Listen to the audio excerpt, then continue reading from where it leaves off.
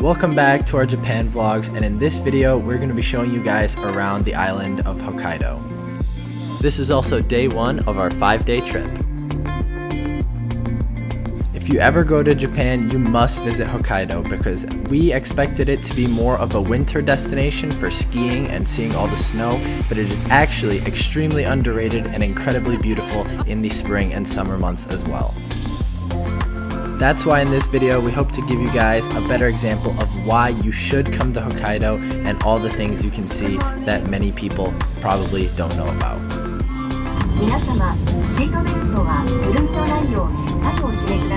さい All of our luggage here because we just got our rental car. We just landed in, Ho- in Hokkaido. We're gonna go check out Sapporo and we're gonna drive around since we can now drive around instead of taking the trains everywhere. So yeah, I mean this is gonna be interesting. A little bit like Iceland, but we're gonna see how this turns out.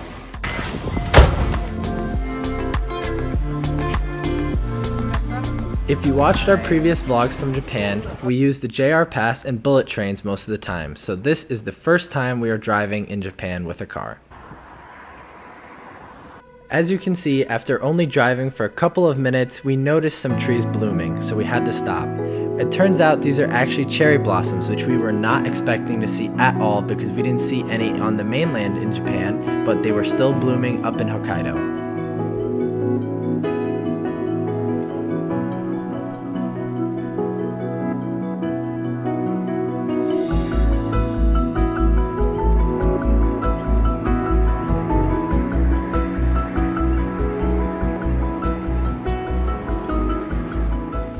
This was the route that we had planned for the day, and as you can see, our first stop is Noboribetsu.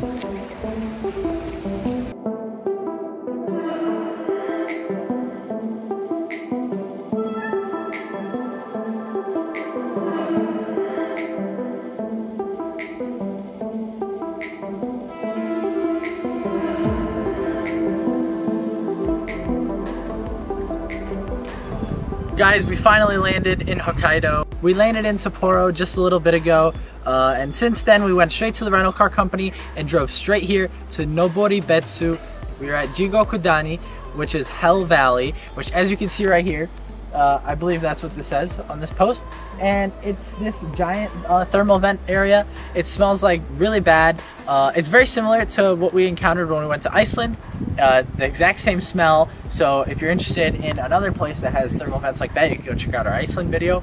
But yeah, this is uh, Jigo- Jigokudani or uh, Hell Valley in Noboribetsu, Japan in Hokkaido. It's only like an hour and 40 minutes if you don't take the highway, maybe an hour from Sapporo. So it's a really good, easy, easy thing to come see.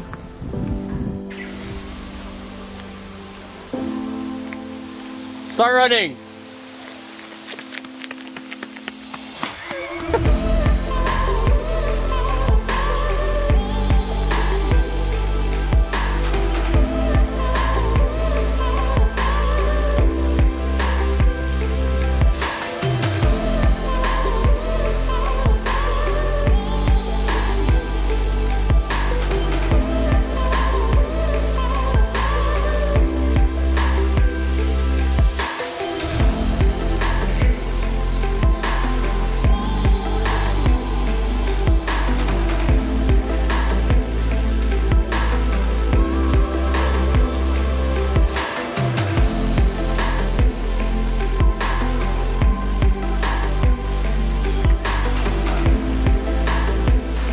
So we keep walking further. We're on our way to a foot bath right now because we want to go try that out. But there's a lot of different paths and routes you can take. You can take your time, you can be fast, however much you want to see, it all depends. There's a lot of maps that show you the different routes and where you are. Like there's one that's right down below us and then there's another one that leads you into the into Hell's Valley more or less, like right in the center of it. So look at the maps and decide which path you want to take for yourself.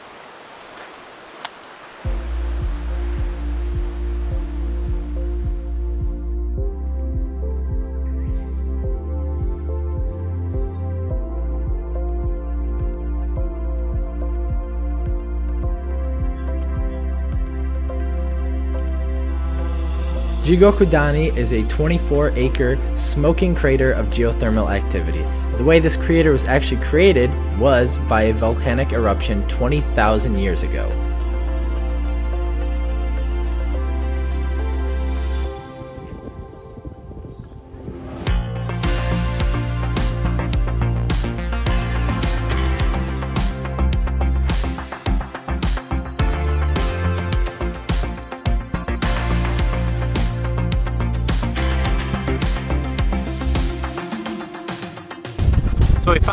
The base of Hell's Valley and sadly I cannot fly the drone here because it, it is against the national park rules and regulations and it'd be sick to get some drone footage here but rather you know just respect the policy but like the amount of geothermal vents all around here is really cool but man it smells terrible and the breeze is pretty the wind is pretty high today so it's blowing all of the smells straight to you and allegedly, from our information, is that the blue water is around 50 degrees Celsius, while the black water you guys see over there should be around 130 degrees Celsius. So if you stick your finger in there, it's gonna come out all red and cooked, and you might as well eat it, but you know.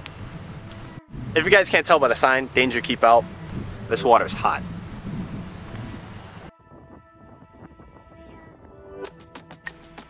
Jigokudani Hell Valley and Jigokudani in Honshu, the home of the snow monkeys, famous for their hot tubbing in the onsens, are actually two different places. So if you look up just Jigokudani, you will get multiple results.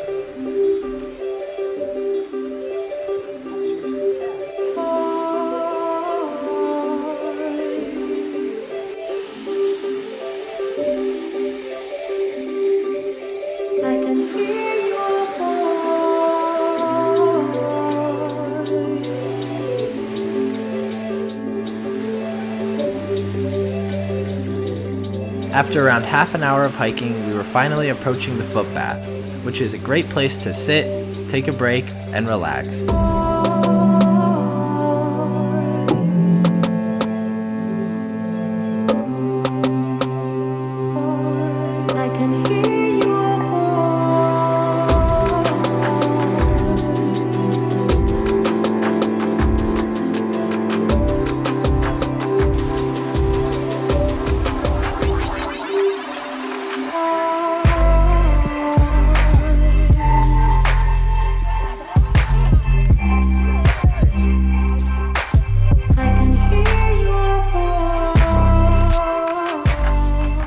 Valley in Noboribetsu gets its name from emitting hot sulfurous steam all year round.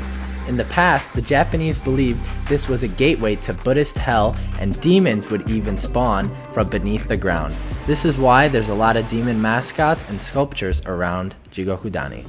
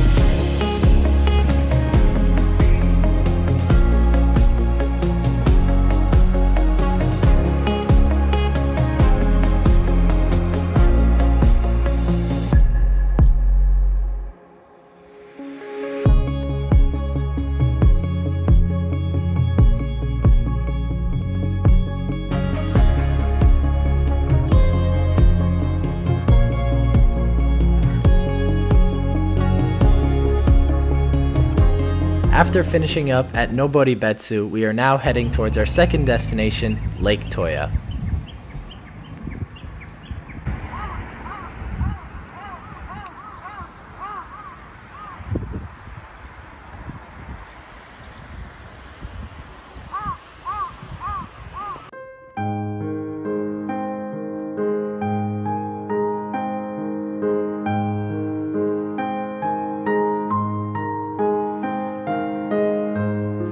As we were approaching Lake Toya, we saw a bunch of cherry blossom trees. And as we got closer to Lake Toya, we saw even more. There were so many that we actually had to stop in Sobetsu, which is right next to Lake Toya, and take a couple of videos of these cherry blossom trees.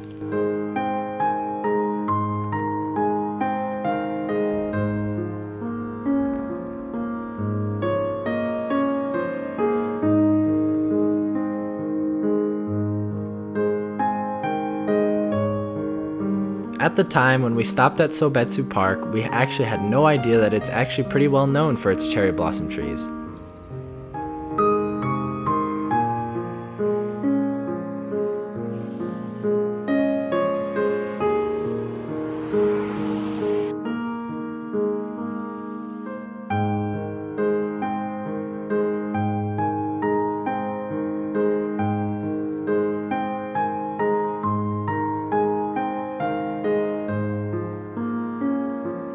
If you would like to come to Japan to look at its nature, I highly recommend coming to Hokkaido.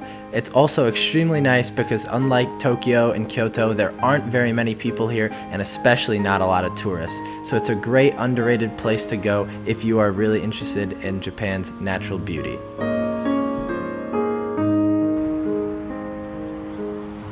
One of the things that we were most surprised by in Hokkaido was the amount of flowers and how beautiful the flowers looked. There are multiple flower farms that we visited in Hokkaido, and even the wildflowers as we drove by looked absolutely beautiful, and that is why we had to take so many amazing videos of them.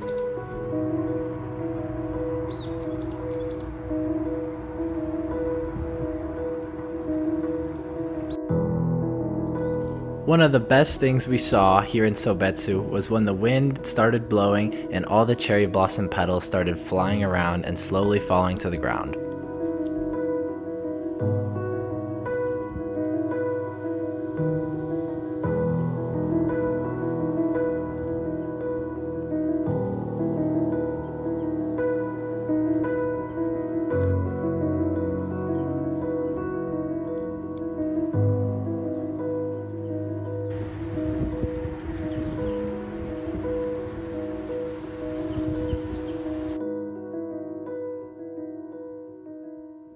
Lake Toya is a volcanic caldera lake in Shikotsu Toya National Park.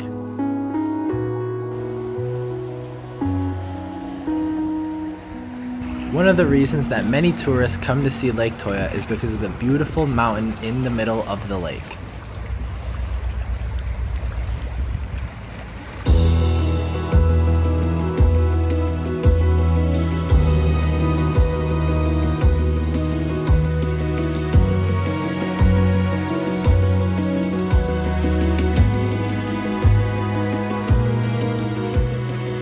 Hokkaido is well known for its dairy products, and as we were driving, we came across Lake Hill Farm, which is a place that sells really great dairy based products.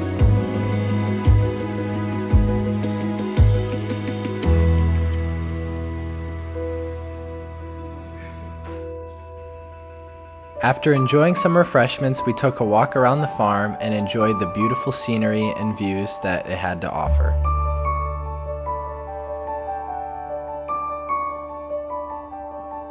The farm itself is actually pretty small. It looks more like a cottage. However, it is surrounded by beautiful flower beds on all sides. We didn't notice it at first because we were too amazed by all the flowers and grass fields that you can actually see Mount Yotei off in the distance.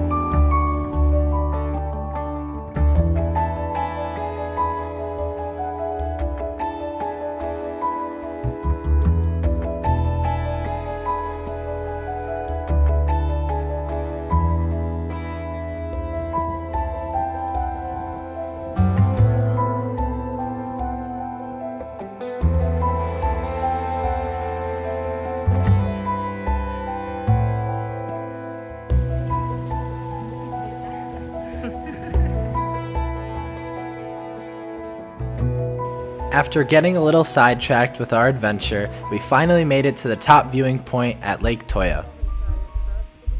This is exactly the type of view that we would like to get on the drone for you guys, but unfortunately the wind was blowing really hard so it was almost impossible to get the drone up there to do that. So instead, we just took a couple of videos. Hope you guys enjoy them.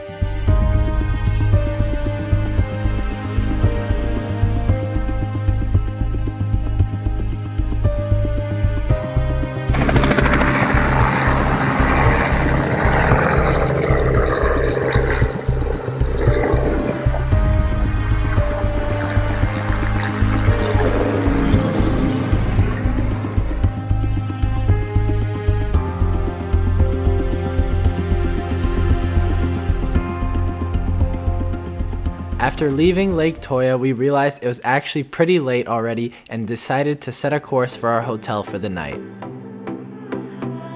This means that we were unable to make it to Sapporo as we had originally planned because we just didn't have enough time to go see it.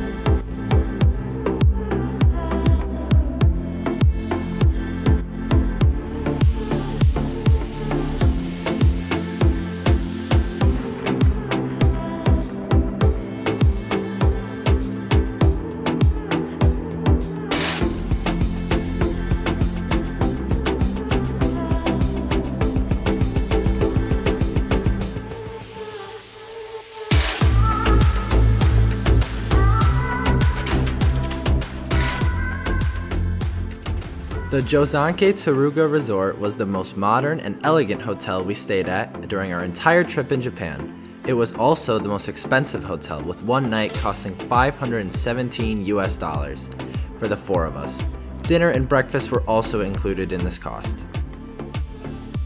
One of its most attractive features is mostly apparent in the winter because of its close proximity to ski resorts in the area.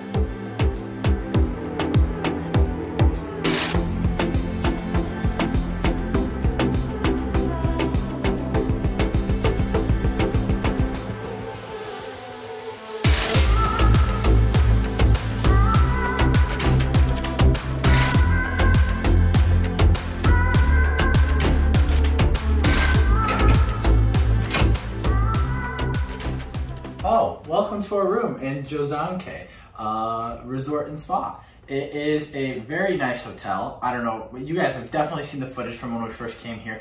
It's a very nice driveway leading up, lots of parking space, and the lobby is absolutely beautiful with this. It's complete with this really nice dripping waterfall, and the staff here are really nice. They were kind enough to take our bags when we first parked at the door, take our bags all the way up to our room, and give us like a whole tour of the lobby, where the onsen is, where the restaurant is, and even like uh, tell us everything about uh, our own hotel room. And they showed us around in here, so it was really nice. Uh, staff are very nice. Uh, location's great. I really like it. There's parking space, and the number one thing that I think is also really cool is going to be the onsen later.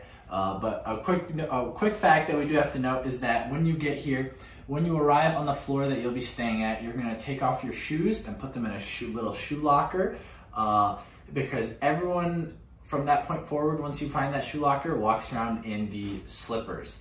And basically, when you walk around on the floor here, uh, like even in the hallway leading up to the elevator, you'll, you'll see in the video, but you you walk around in socks. You don't walk around with shoes or anything.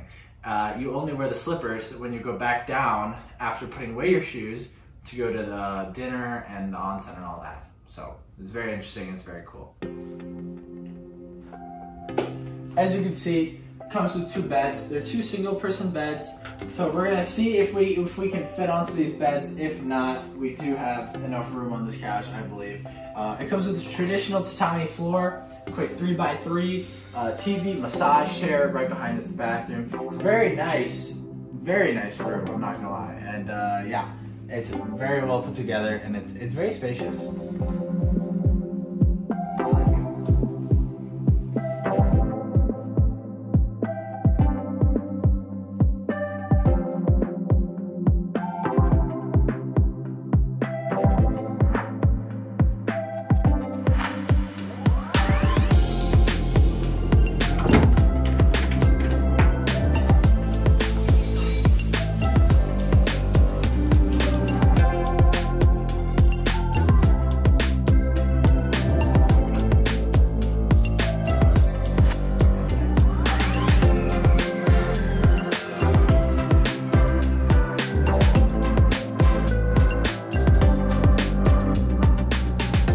Guys were wondering if the buffet was good, it is.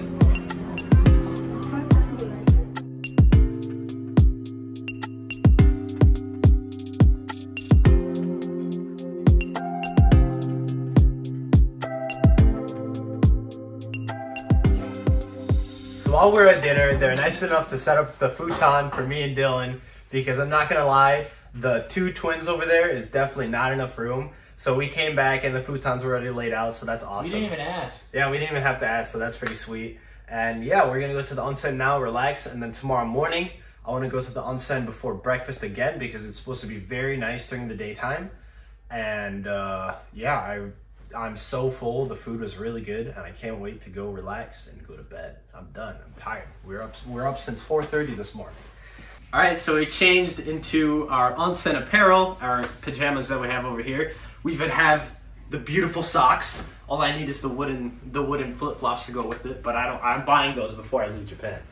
But yeah, we're ready to go hit the onsen. And what are your thoughts on this whole outfit? I think it's a very nice silk vest that they give you to wear. It's it's very comfortable. I like it a lot. It's very stylish. And Yes. everyone, everyone's on the same page because everyone else is wearing it too, so you look really cool. Yep. All right, now we're gonna go hit the onsen.